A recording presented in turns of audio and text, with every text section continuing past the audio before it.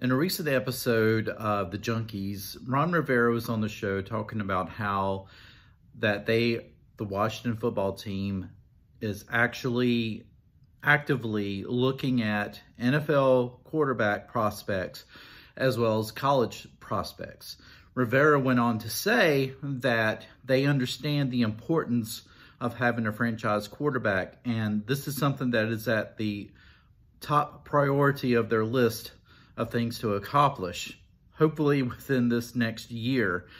He talked about how that, you know, adding the other pieces was his plan in order to build the team around a quarterback or basically to to build up the offense around the quarterback, the future quarterback, so that he could plug somebody in and they basically can have a chance at, at being successful.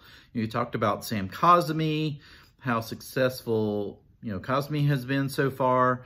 Uh, talked about how it's important to re-sign Brandon Scherff. You know that still remains to be seen if that's actually going to uh, be a reality or not. But you know he basically talked about building up that offensive line to protect whoever is going to be behind center, right?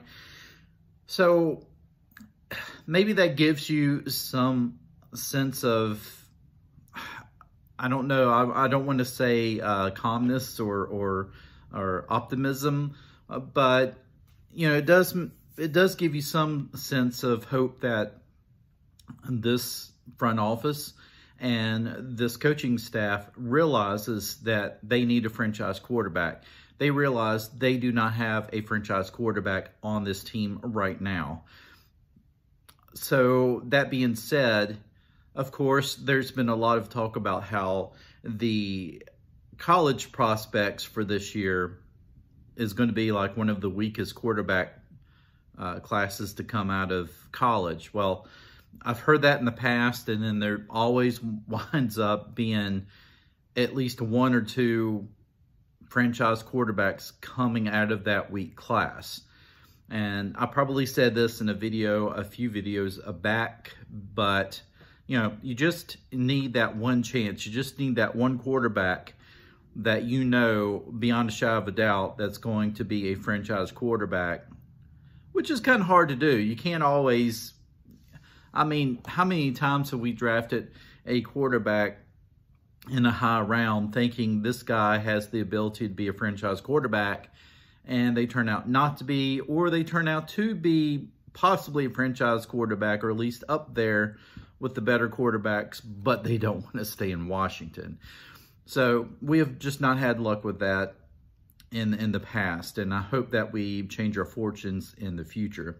So anyway, it's good to say that, or it's good to see that Ron Rivera and company, they're looking at quarterbacks, they're looking at NFL prospects as well. So just because that, you know, it, it's a good chance that we may, in fact, draft a quarterback next year, hey, they're still looking at quarterbacks who could be prospects.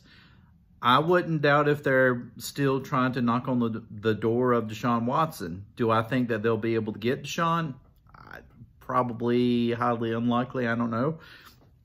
But then again, who knows? Uh, you know, certainly we want to make sure that Deshaun Watson's legal battles are all done before you make this huge investment into the guy, but you know, assuming that all of that kind of you know works itself out, I mean, Deshaun Watson can be, I mean, he can definitely turn your team into one of the better teams in the league. So that's something to to keep a watch of. We know he's not going to uh, Philadelphia, as a lot of people had rumored was going to happen. Um, I don't think he's going to Miami. I just personally don't think he is. So who knows? We'll, we'll see. Anyway, I hope you enjoyed this video. Uh, please like, share, subscribe, leave me a comment. Let me know what you think. Who are the who are the quarterbacks next year who may be available in both the NFL and the college level that you think Washington would have an opportunity to get or who you think that they need to go out and get? Leave me a comment below. I would love to read what you have to say. Anyway, you guys take care. Have a great day. I will see you in the next one.